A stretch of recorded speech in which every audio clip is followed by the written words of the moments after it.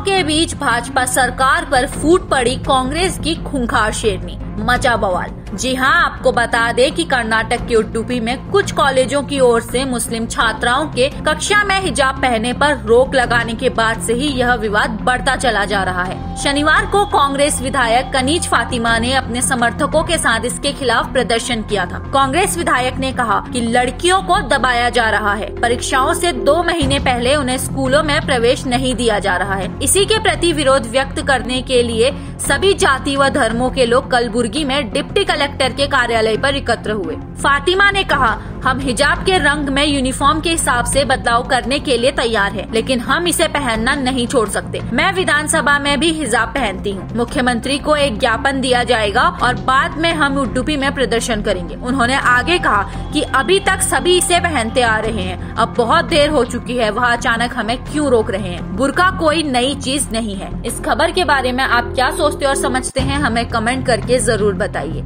News desk से प्रिया।